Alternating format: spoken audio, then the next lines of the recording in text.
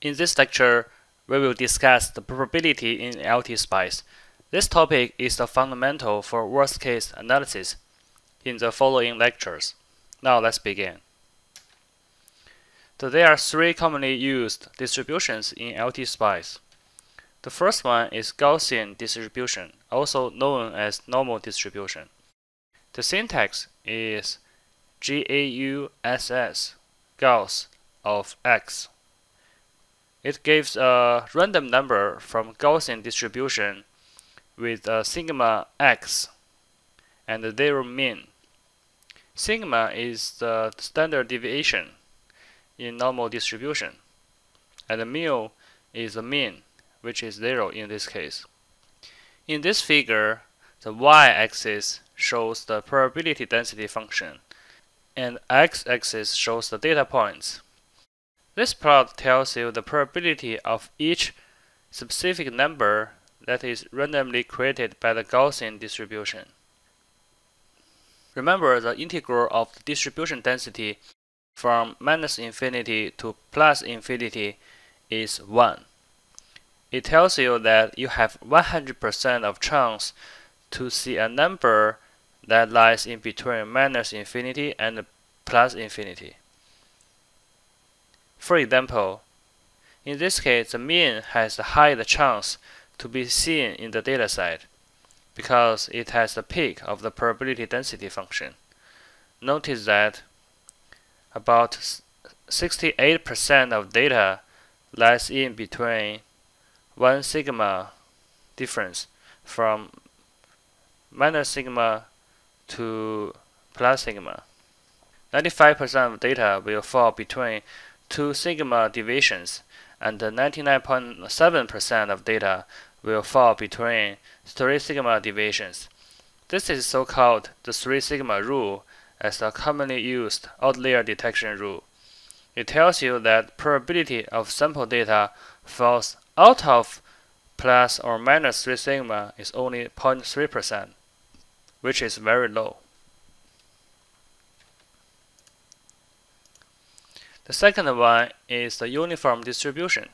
The syntax is flat of x, which gives a random number between minus x and x.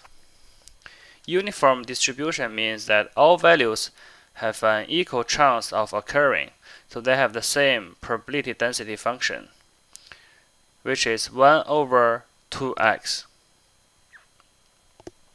because the shaded area is 1.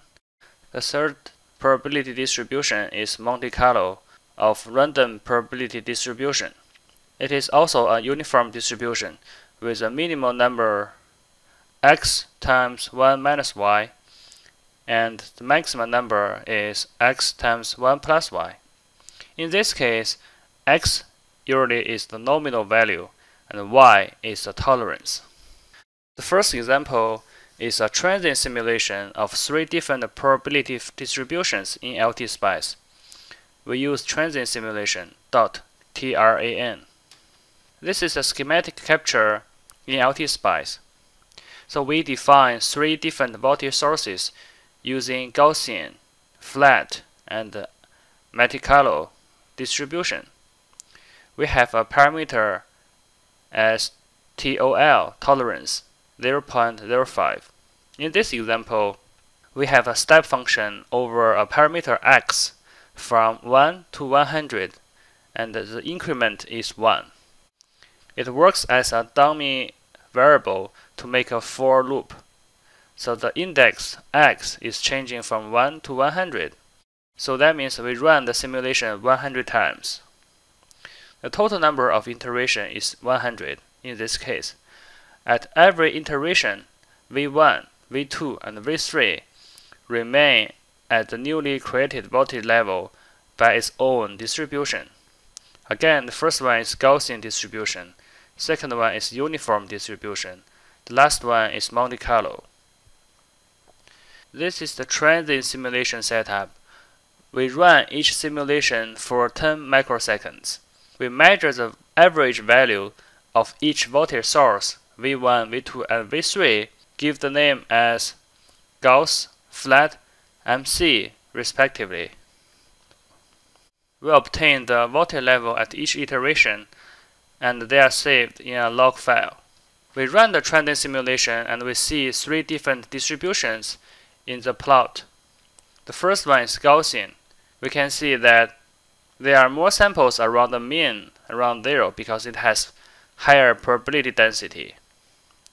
For uniform distribution in the middle and Carlo, we can see that the samples are pretty evenly distributed among the data range.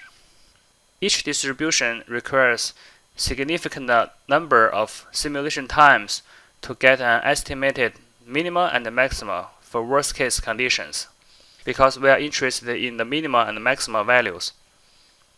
Apparently, the last one, Monte Carlo, is the best option to simulate components tolerance, given x as the nominal value and y as the tolerance.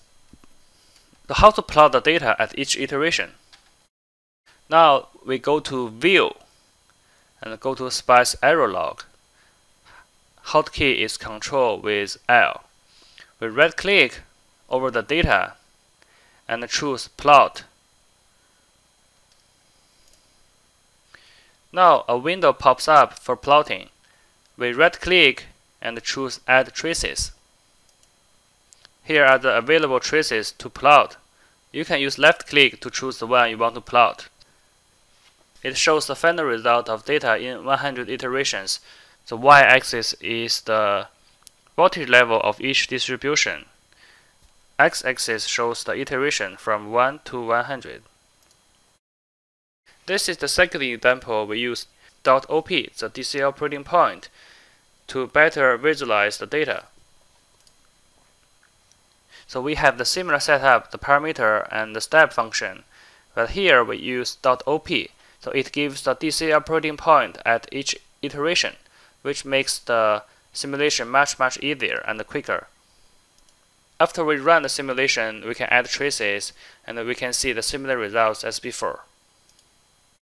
Just to recap, in this lecture we discussed three different probability distributions in LT-SPICE, including Gaussian distribution, also known as the normal distribution, uniform distribution. The last one is Monte Carlo distribution, which is the best method to simulate components tolerance.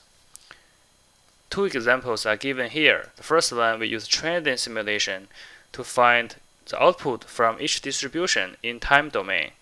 The second example, we use .op to find the DC operating point of each voltage, which makes the simulation much easier. Here are the references I use for this lecture. Uh, it's highly recommended to take a look. All done for this lecture. Thank you. See you next time.